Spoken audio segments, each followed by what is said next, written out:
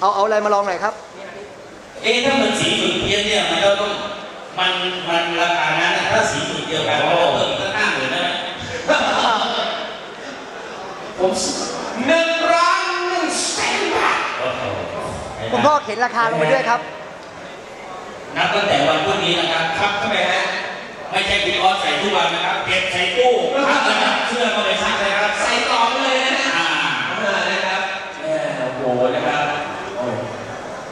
และเดี๋ยวต่อจากเสื้อนะครับที่มีลายเซ็นของคุณพ่อลิลิเดียลันนะครับเราก็จะมาดูเสื้ออีกตัวหนึ่งครับซึ่งจะเป็นลายเซ็นนะครับ